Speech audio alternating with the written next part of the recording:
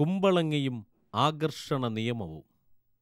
Motivation സംബന്ധിയായ ഗ്രന്ഥങ്ങളിലും പ്രോഗ്രാമുകളിലും സാധാരണ ഉപയോഗിക്കുന്ന പ്രയോഗമാണ് ആകർഷണ നിയമം. ചിന്തകൾ ഒരു കാന്തിക പ്രസരണം നമുക്ക് ചുറ്റും സൃഷ്ടിക്കുന്നു. ഈ കാന്തിക വലയം നാം ആഗ്രഹിക്കുന്നതെന്തും നമുക്ക് നേടിത്തരും. നാം എന്താണോ എപ്പോഴും ചിന്തിക്കുന്നത്. നാം എന്താണോ ശക്തമായി ആഗ്രഹിക്കുന്നത്. അത് കാന്തം ഇരുമ്പിനെ ആകർഷിക്കുന്നതുപോലെ നമ്മിലേക്ക് ആകർഷിക്കപ്പെടും. നമ്മുടെ പൂർവികരായ ചിന്തകർക്ക് ഇതറിയാമായിരുന്നു. വേദഗ്രന്ഥങ്ങളിൽ ഇക്കാര്യങ്ങൾ വേറൊരു ശൈലിയിൽ പറയുന്നുണ്ട്. പ്രാർത്ഥനയും തപസ്സും ആരാധനകളും ആകർഷണ നിയമം നമ്മിലേക്ക് പ്രവഹിക്കുന്നതിനുള്ള വിവിധ മാർഗങ്ങളാണ്. എന്നാൽ പ്രായോഗിക തലത്തിൽ പരിശോധിക്കുമ്പോൾ ഭൂരിപക്ഷം ആളുകൾക്കും തങ്ങൾ ആഗ്രഹിക്കുന്ന കാര്യങ്ങൾ വളരെ കഠിനാധ്വാനം ചെയ്തിട്ട് സഫലമാകാൻ കഴിയുന്നില്ല എന്നത് യാഥാർത്ഥ്യമാണ്. എന്താണിതിനു കാരണം? ആകർഷണ നിയമം ഉപയോഗിച്ച് പണവും സ്ഥാനമാനങ്ങളും സർവോപരി ജീവിതത്തിൽ ഇടപെടുന്ന എല്ലാ കാര്യങ്ങളിലും എങ്ങനെ വിജയിക്കാം? ആകർഷണ നിയമം പ്രവർത്തിക്കണമെങ്കിൽ എന്തൊക്കെ കാര്യങ്ങൾ ശ്രദ്ധിക്കണം? തുടങ്ങിയ കാര്യങ്ങൾ വിശദീകരിക്കുന്നതിനു വേണ്ടി ഐതിഹ്യമാലയിലെ ഒരു കഥ ഇവിടെ വിവരിക്കാം. സാമൂതിരി കോഴിക്കോട് ഭരിക്കുന്ന കാലത്ത് വിദഗ്ധനും പ്രസിദ്ധനുമായ ഒരു വൈദ്യൻ രാജ്യത്തുണ്ടായിരുന്നു. വൈദ്യൻ ആരുടെയും വീട്ടിൽ ചികിത്സയ്ക്കായി പോകാറില്ലായിരുന്നു.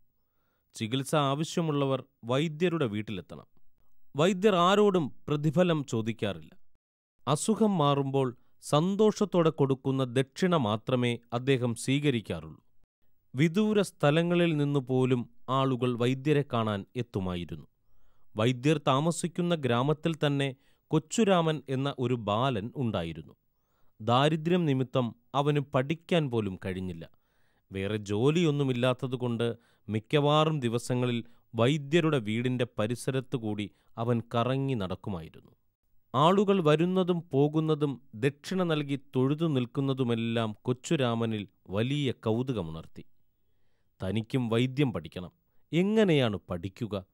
വൈദ്യരോട് ചോദിച്ചാൽ പറഞ്ഞു തരുമോ? നൂറുകൂട്ടം സംശയങ്ങളായിരുന്നു അവന്. കൊച്ചുരാമൻ പതിവായി വൈദ്യരുടെ പരിസരത്ത് കറങ്ങി നടക്കുന്നത് വൈദ്യരുടെ പരിചാരകന്റെ ശ്രദ്ധയിൽപ്പെട്ടു. എന്താടോ ഇവിടെ കറങ്ങി നടക്കുന്നത്? വല്ലതും മോഷ്ടിച്ചു കൊണ്ടുപോകാനുള്ള പദ്ധതിയാണോ? പരിചാരകൻ കൊച്ചുരാമനെ ശരിക്കുമൊന്ന് വിരട്ടി. എനിക്ക് വൈദ്യം പഠിക്കണമെന്ന ആഗ്രഹമുണ്ട് കൊച്ചുരാമൻ പറഞ്ഞു. പരിചാരകൻ ഉള്ളാലെ ചിരിച്ചു. സംസ്കൃതത്തിൽ എഴുതപ്പെട്ട നൂറുകണക്കിന് താളിയോലകളിൽ എഴുതിയ ഔഷധക്കൂട്ടുകളെക്കുറിച്ച് ഈ അക്ഷരമറിയാത്ത ബാലൻ എന്താണ് പഠിക്കുക? വർഷങ്ങളായി ഔഷധച്ചെടികൾ പറിക്കാനും ഇടിക്കാനും പൊടിക്കാനുമൊക്കെ സഹായിക്കുന്ന തനിക്ക് പോലും ഇതുവരെയും ഒന്നും മനസ്സിലാക്കാൻ കഴിഞ്ഞിട്ടില്ല. പുച്ഛഭാവത്തിൽ ബാലനെ നോക്കിയിട്ട് അയാൾ അകത്തേക്ക് പോയി. എന്നാൽ കൊച്ചുരാമൻ തോറ്റുകൊടുക്കാൻ തയ്യാറായിരുന്നില്ല. എല്ലാ ദിവസവും അവൻ വൈദ്യരുടെ വീടിന്റെ പരിസരത്ത് വരികയും പരിചാരകനോട് ചോദിക്കുകയും ചെയ്യുമായിരുന്നു. അവസാനം ശല്യം ഒഴിവാക്കാനായി പരിചാരകൻ ഒരു മാർഗം പറഞ്ഞുകൊടുത്തു തിങ്കളാഴ്ച അതിരാവിലെ കുളിച്ചു വൃത്തിയായി എന്തെങ്കിലും ദക്ഷിണയുമായി വൈദ്യരുടെ വീട്ടിലെത്തണം. വൈദ്യർ കുളിച്ച് പൂജ കഴിഞ്ഞ് പൂമുഖത്ത് വരുമ്പോൾ ദക്ഷിണ കാൽക്കൽ വച്ച് തൊഴണം. അപ്പോൾ വൈദ്യർ ഒരു മന്ത്രം പറഞ്ഞു തരും. ഒറ്റ പ്രാവശ്യമേ പറയൂ.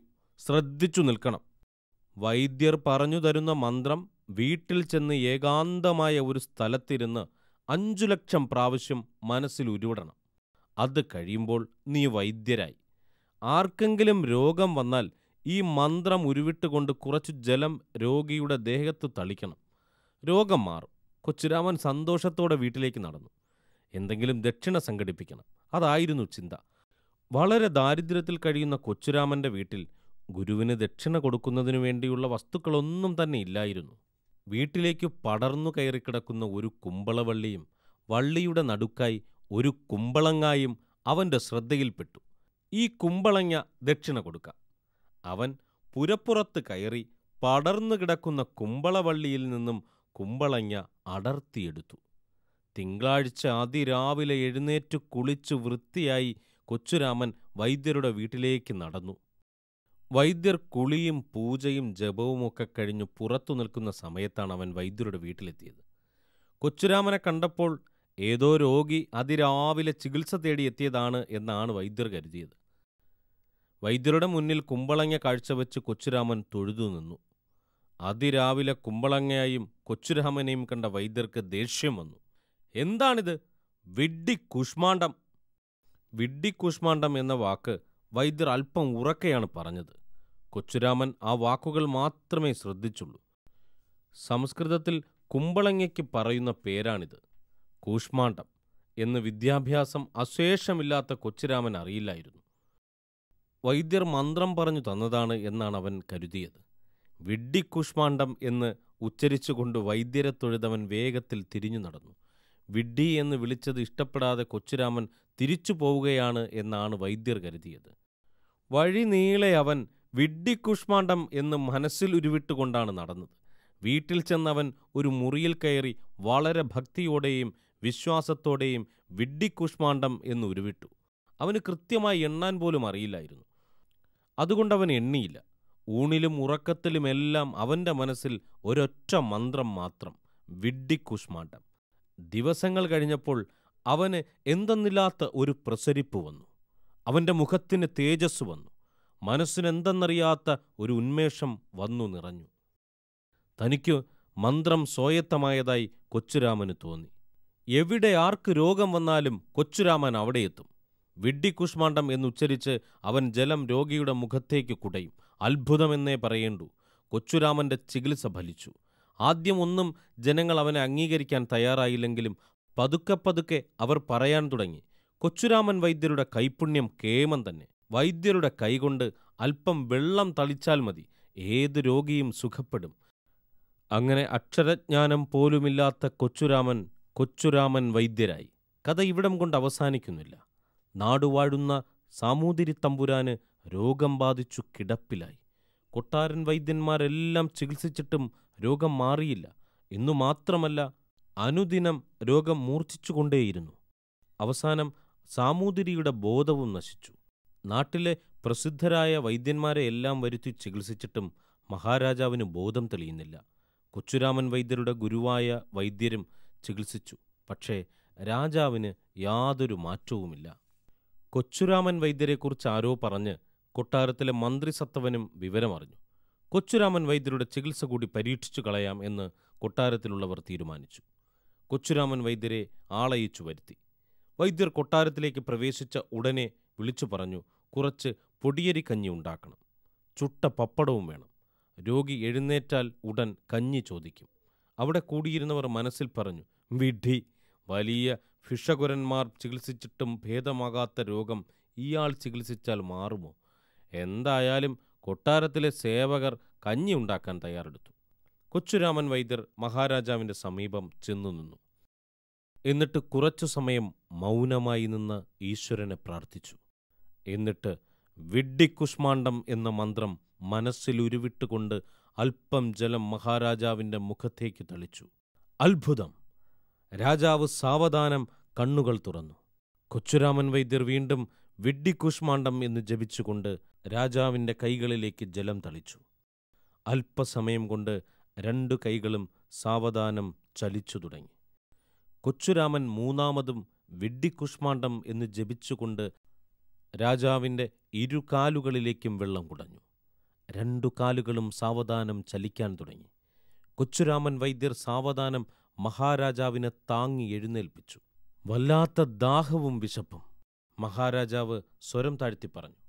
മഹാരാജാവിന്റെ അമൃതയത്തായി കഞ്ഞിയും ചുട്ട പപ്പടവും എത്തിച്ചു. അമൃതയത്ത് കഴിച്ച മഹാരാജാവ് കുറച്ചു സമയം വിശ്രമിച്ചു. തന്റെ ജീവൻ രക്ഷിച്ച വൈദ്യർക്ക് പട്ടും വളയും സ്വർണ നാണയങ്ങളും സമ്മാനമായി നൽകി. കൊച്ചുരാമൻ വൈദ്യരെ പല്ലക്കിൽ കയറ്റി വീട്ടിലെത്തിക്കാൻ കൽപ്പനയായി. പല്ലക്കിലേറി വീട്ടിലേക്ക് സഞ്ചരിക്കവേ വഴിയരികിൽ തന്റെ ഗുരുനാഥനായ വൈദ്യരെ കൊച്ചുരാമൻ കണ്ടു. പല്ലക്ക് നിർത്താൻ ആവശ്യപ്പെട്ടു. പല്ലക്കിൽ നിന്നും ഇറങ്ങിയ കൊച്ചുരാമൻ തന്റെ ഗുരുവിന്റെ കാൽക്കൽ വീണ് നമസ്കരിച്ചു. തനിക്ക് കിട്ടിയ സമ്മാനങ്ങളെല്ലാം ഗുരുവിന് സമർപ്പിച്ചു. ഇതെല്ലാം കണ്ട ഗുരു അമ്പരന്നു. എന്താണ്? എന്താണ് നീ ഈ കാട്ടുന്നത്? ഗുരു ചോദിച്ചു. അങ്ങ് പഠിപ്പിച്ചു തന്ന മന്ത്രം കൊണ്ടാണ് എനിക്കിതെല്ലാം സാധിച്ചത്. അന്ന് എനിക്ക് ഗുരുദക്ഷിണയായി നൽകാൻ കുമ്പളങ്ങ മാത്രമേ ഉണ്ടായിരുന്നുള്ളൂ. അതുകൊണ്ട് അങ്ങ് ഇതെല്ലാം സ്വീകരിച്ചാലും? കുമ്പളങ്ങായുടെ കാര്യം പറഞ്ഞപ്പോഴാണ് വൈദ്യർക്ക് പഴയ സംഭവം ഓർമ്മയിൽ വന്നത്. തീവ്രമായ ആഗ്രഹവും അചഞ്ചലമായ ആത്മവിശ്വാസവും ശരിയായ ദൈവവിശ്വാസവും ഗുരുഭക്തിയും ഒത്തിണങ്ങിയാൽ സാധിക്കാത്തത് ഒന്നും തന്നെ ഈ ലോകത്തില്ല എന്ന് നീ തെളിയിച്ചിരിക്കുന്നു കൊച്ചുരാമ എന്നു പറഞ്ഞ് ഗുരു അനുഗ്രഹിച്ചു. ഇവിടെ എങ്ങനെയാണ് ലാ ഓഫ് അട്രാക്ഷൻ പ്രവർത്തിച്ചത് എന്ന് പ്രേക്ഷകരിൽ പലർക്കും മനസ്സിലായി കാണും. മനസ്സിലാകാത്തവർക്കായി വിശദീകരിക്കാം. വൈദ്യം പഠിച്ച് തനിക്ക് വിദഗ്ധനും പ്രശസ്തനുമായ വൈദ്യനാകണം എന്നതായിരുന്നു കൊച്ചുരാമൻ എന്ന ബാലന്റെ ആഗ്രഹം. ആഗ്രഹം വളരെ തീവ്രമായിരുന്നു. അതുകൊണ്ടാണ് വഴിതേടി പരിചാരകനെ സമീപിച്ചതും അയാൾ പല പ്രാവശ്യം ആട്ടിയോടിച്ചിട്ടും പിറകെ നടന്നത് വൈദ്യരെ കാണാനുള്ള അവസരം തരപ്പെടുത്തിയതും ഗുരു പറഞ്ഞു തന്നത് മന്ത്രമാണ് എന്നും ആ മന്ത്രം കൊണ്ട് രോഗികളെ സുഖപ്പെടുത്താം എന്നും ഉറച്ച വിശ്വാസവും കൊച്ചുരാമനുണ്ടായിരുന്നു. നമ്മൾ എന്താണോ തീവ്രമായി ആഗ്രഹിക്കുന്നത് അത് നമ്മിലേക്ക് ആകർഷിക്കപ്പെടും എന്നതാണ് ലാ ഓഫ് അട്രാക്ഷൻ പറയുന്നത്. അതിന്റെ കൂടെ ദൈവവിശ്വാസവും ആത്മവിശ്വാസവും ഗുരുഭക്തിയും കൂടി ഉണ്ടെങ്കിൽ സാധിക്കാത്തത് ഒന്നും തന്നെ ഈ ലോകത്തിലില്ല എന്ന് ഈ കഥ നമ്മെ ഓർമ്മപ്പെടുത്തുന്നു. ആർക്കെങ്കിലും ആകർഷണ നിയമം ഫലിക്കാതെ വരികയാണെങ്കിൽ അതിനു കാരണം അവരുടെ ചിന്തകളുടെ തീവ്രതക്കുറവോ ആത്മവിശ്വാസക്കുറവോ ആകാം. പ്രാർത്ഥനകൾക്ക് ഫലമുണ്ടാകുന്നതും വിശ്വാസത്തിന്റെ തീവ്രത അനുസരിച്ചാണ്. ഗുരുത്വദോഷം മൂലം പലരുടെയും വിജയങ്ങൾ കപ്പിനും ചുണ്ടിനുമിടയിൽ നഷ്ടപ്പെടുന്ന അവസ്ഥ സാധാരണമാണ്. ഇക്കാര്യങ്ങൾ ശ്രദ്ധിച്ച് എല്ലാവർക്കും നന്മകൾ നിറഞ്ഞ വിജയികളാകാൻ കഴിയട്ടെ എന്ന് പ്രാർത്ഥിക്കുന്നു.